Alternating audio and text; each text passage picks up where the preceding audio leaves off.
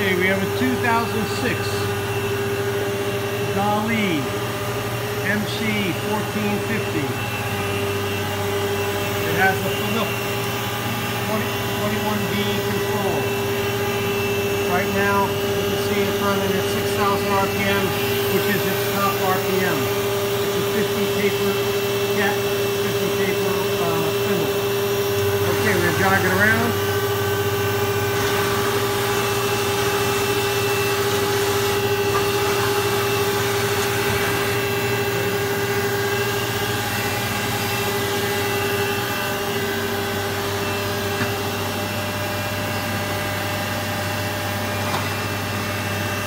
Okay, we're.